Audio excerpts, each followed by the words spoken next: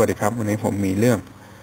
เอาชนะเหตุผลที่ทำให้คุณไม่อยากออกกำลังกายกันนะครับ คุณยุ่งมากจนไม่มีเวลาออกกำลังกายหรือเปล่า หรือค้นพบว่ามันน่าเบื่อ ต่อไปนี้เป็นเหตุผล ที่จะบอกว่าทำไมเราถึงไม่ออกกำลังกายกันนะครับ คุณไม่ชอบออกกำลังกาย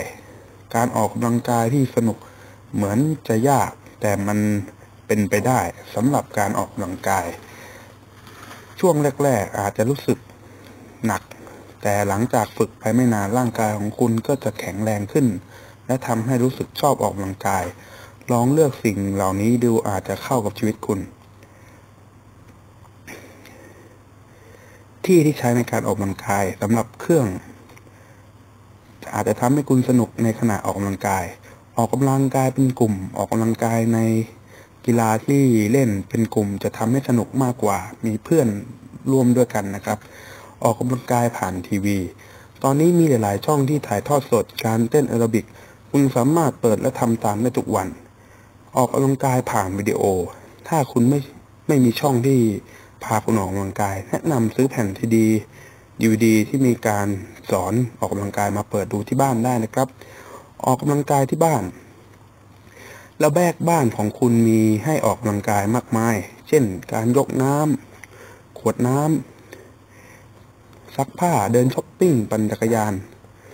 ต่อไปเป็นการออกกำลังกายผ่าน iPhone ถ้าคุณมี iPhone จะมีแอปพลิเคชันที่เป็นโค้ดส่วนตัว ให้คุณออกกำลังกาย ซึ่งคุณสามารถทำได้ทุกที่นะครับ คุณพยายามออกกำลังกายแล้วแต่สุดท้ายก็เลิก คุณอาจจะทำมากเกินไปหรือเร็วเกินไปหรือเปล่าครับ ถ้าคุณไม่ออกกำลังกายเลย แล้วเข้าไปในโรงยิม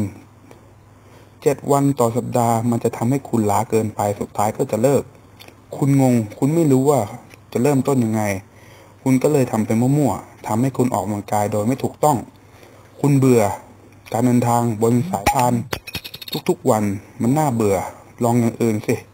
คุณท้อ การท้อเป็นสิ่งเป็นเรื่องปกติสำหรับมือใหม่นะครับ หาผู้ช่วยฝึก ผู้ช่วยฝึกจะบอกวิธีที่ถูกต้องและให้กำลังใจคุณ ไม่ให้เลิกออกกำลังกาย หาหลายอย่างหลาย ๆ อย่างทำถ้าคุณเบื่อลองเปลี่ยนวิธีการของแต่ละสัปดาห์ อย่าหยุด ถามคำถามสำคัญกับตัวเองทุกครั้งที่คุณจะข้ามการออกกำลังกายไป ครับ วันนี้ก็ขอขอบคุณครับ